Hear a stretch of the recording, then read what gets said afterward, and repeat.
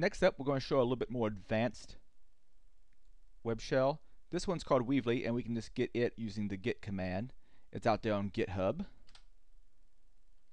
You see, Weavly already exists. That's because I've already downloaded it previously. Saves a little bit of time.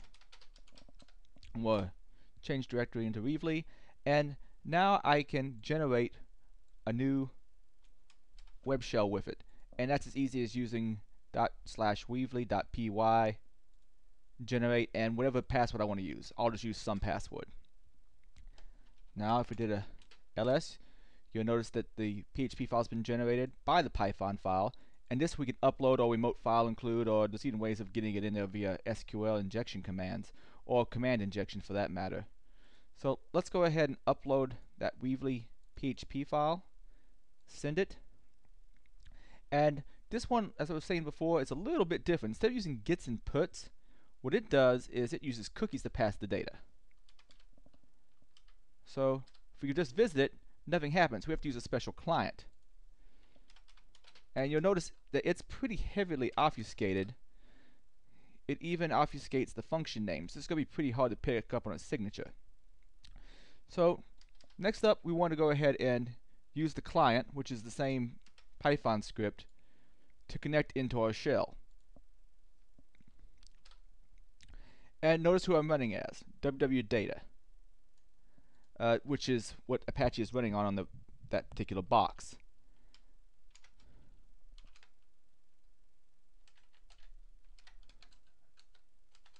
Now, currently tab completion is messed up for some reason or another. I'm not quite sure why. But you notice I can issue normal commands. And I can also do things with various modules that are included. And there's a bunch of interesting modules, like there's ones for dumping the SQL databases, there's ones for doing network scanning, These even ones for setting up a proxy on here, so that you can use it as a pivot. All nifty. You can audit for files that have weak permissions, so on and so forth. Just a ton of different options that Weavly has. Now I'm not going to show them all because, well, quite frankly, it's got way, way too many. But let's say we just want to pull up system info, find out a little bit about the platform we compromised. We use the system info command, and you can see what our present working directory is. You see client IP. You see some information about the platform. Ubuntu is the host name, what particular kernel we're using, uh, a little bit more about the particular version of uh, PHP we have and Ubuntu. So a lot of information there. We can also issue commands to find other writable files that we could compromise. So we're going to find perms, find things that are writable.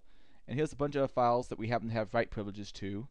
Now we could do this also from a different directory, maybe from root, but it would uh, take a little bit of time to actually finish.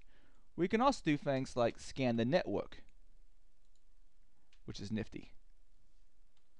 Now, the output from this is a little bit, um, well, hard to read. It's going to start saying open, open, open on things that aren't open. It's not actually open unless you see the host name listed on the right. I'll show that here in a second. We'll pause the video.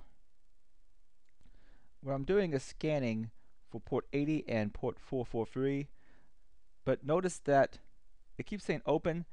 This isn't actually uh, truly open in this case. We'll see some shortly that actually are open. Now in this case it finally found one that actually is open and it's reporting that to us. And as I was saying before, it's passing anything cookies.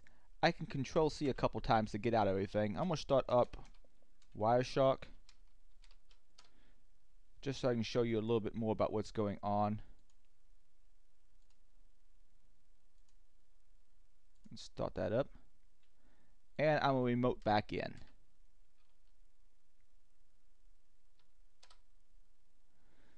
And let's do a follow stream on here. Notice that it's passing all of the information in obfuscated cookies. All in all, pretty neat.